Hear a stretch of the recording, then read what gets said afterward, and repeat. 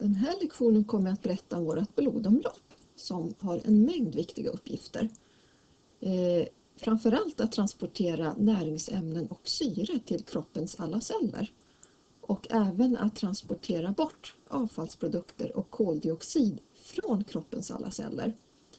Och blodomloppets uppgifter är också att transportera hormoner, transportera vårt immunförsvar i form av vita blodkroppar och eh, även blodplättar som deltar i sårläkning tillsammans med blodets koagulationsfaktorer.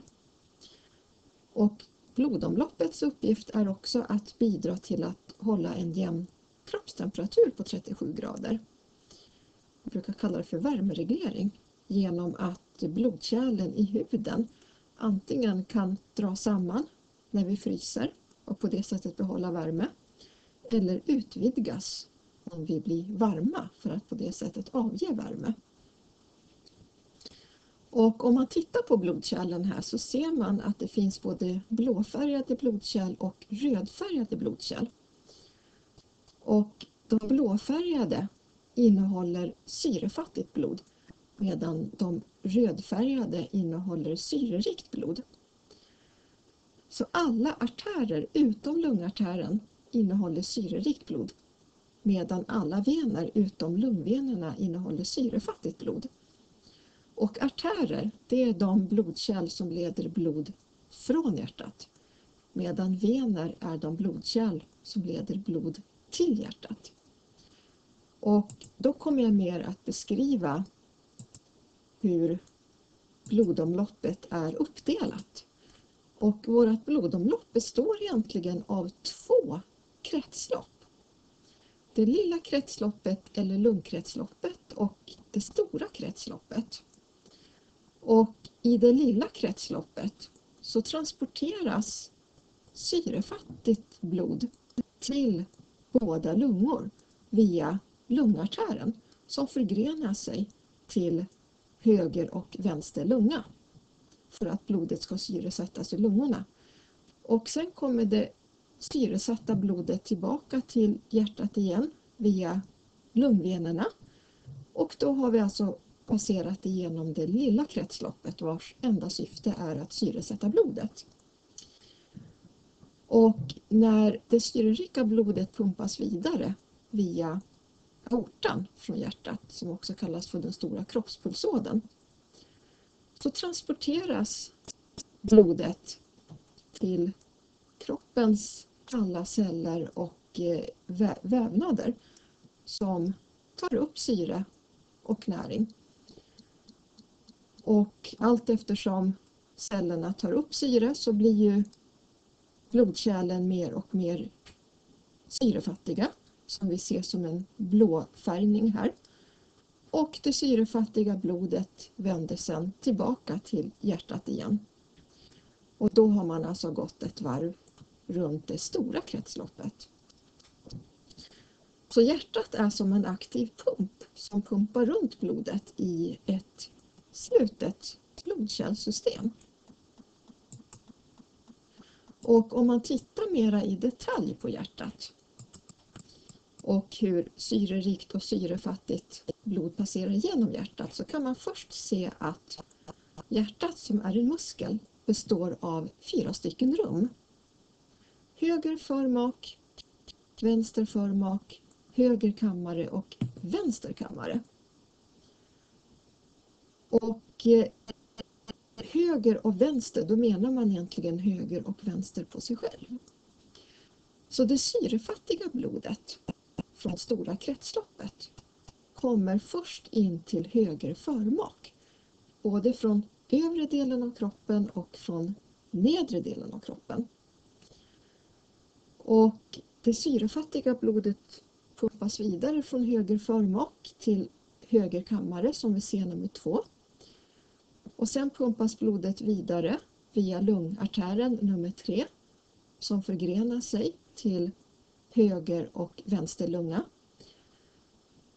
Och där syresätts blodet för att sen komma tillbaka till hjärtat igen via lungvenerna från höger och vänster lunga. Och det syrerika blodet kommer tillbaka till vänster förmak som vi ser som nummer fyra för att pumpas vidare till vänster kammare. Och det syrerika blodet pumpas sedan från vänster kammare där den drar ihop sig till aortan som vi ser som nummer sex som förgrenar sig i ett antal artärer som försörjer både hjärna och övre delen av kroppen med syrerikt blod. Och eh, resten av det syrerika blodet transporteras eh, vidare till resten av alla kroppens celler. Och om man tittar på det stora kretsloppet så är det nästan hälften av allt syresatt blod som går direkt upp till hjärnan via våra så kallade halspulsådror. Och hjärnan är väldigt beroende av jämn tillgång till energi kan man säga eftersom nervcellerna inte kan lagra energi på samma sätt som resten av kroppens celler. Och det är därför som hjärnan är så känslig för syrebrist. Ungefär 10 procent av allt syresatt blod går direkt till hjärtat självt. För hjärtat är ju en muskel som också behöver försörjas med syre och näringsämnen. Så hjärtats egna blodkärl kallas för kranskärl som är förgreningar från aortan. Så ungefär 40 procent går till resten av kroppen i det stora kretsloppet. Och om man tittar på hjärtat så ser man här på den här bilden att det finns förgreningar av de här största blodkärlen som omger hjärtmuskeln och det är de man kallar för kranskärl.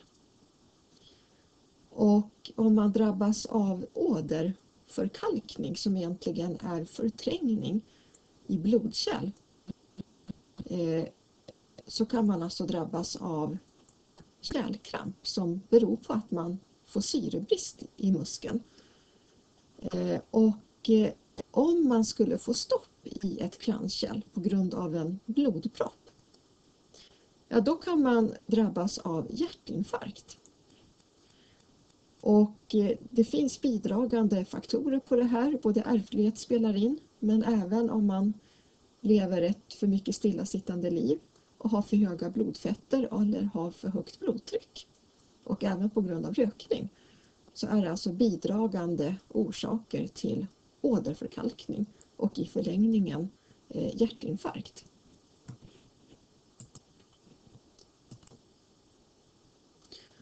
Och om man tittar här på hur blodet strömmar igenom hela kroppen så ser man här att det finns lite olika typer av blodkärl.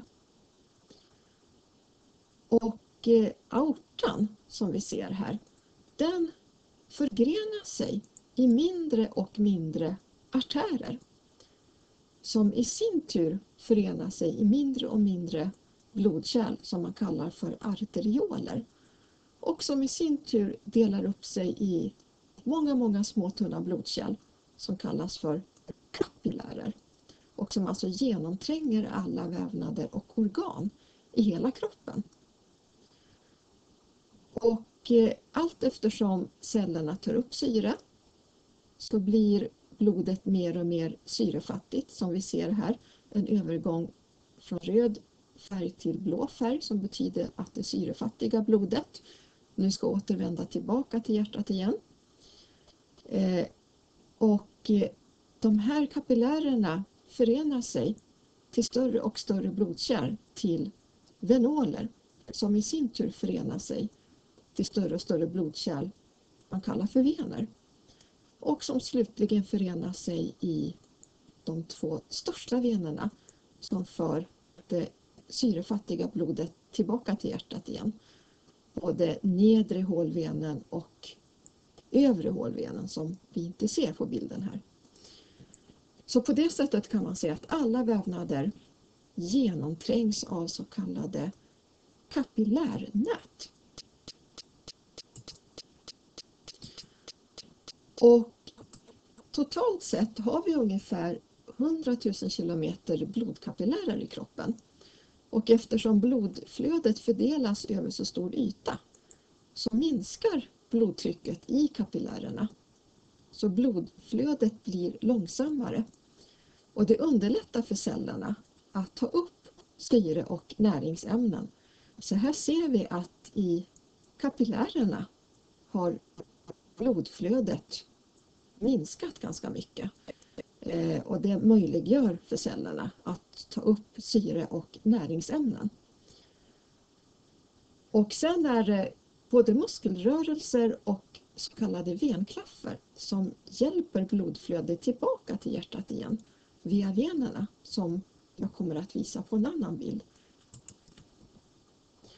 Eh, men om man tittar på våra blodkärl kan man säga att våra största blodkärl, aortan till exempel, eh, har en väldigt kraftig muskelvägg i kärlväggen. Och det är helt enkelt för att stå emot det här kraftiga trycket från hjärtat. Och aortan är vårt största blodkärl, ungefär 3-4 cm brett. Så de största artärerna har alltså ett ganska kraftigt muskellager i kärlväggen just för att stå emot det här höga blodtrycket som blir när hjärtat pumpar. Medan de minsta blodkärlen, våra blodkapillärer, de har inget muskellager överhuvudtaget och där är deras väggar väldigt, väldigt tunna. Och det är helt enkelt för att syre och näringsämnen lätt ska kunna passera direkt över kärlväggen ut i omgivande vävnader med celler som tar upp de här ämnena. Och eh, de minsta blodkärlen, de är inte större än ungefär 0,01 millimeter i diameter. Och de är i princip så pass små att bara en röd blodkropp i taget kan passera i princip. Och värt att nämnas kan också vara att vi har ett lymfkärlsystem som finns parallellt med blodomloppet. Och eftersom vi har ett blodtryck så innebär det att överskottsvätska filtreras ut från kapillärerna.